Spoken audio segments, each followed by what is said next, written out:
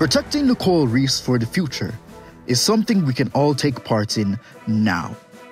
Coral reefs are being impacted by warming oceans, plastic pollution, invasive species, and human development. But everyone can make a difference this year. CCMI is launching Reef Relief 2021, so we can all have a positive impact on local reef health together. Reef Relief 2021 includes a photo scavenger hunt where teams take part in a range of activities that directly impact our reefs. From lionfish culling to beach cleanups to learning fun facts with your family about how we all can make a difference. Reef Relief squads include four to six people of any age with a range of activities so anyone can take part.